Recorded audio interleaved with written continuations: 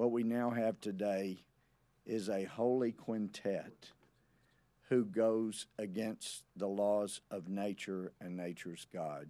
It's marriage. That is something that God created. That is something that God will define.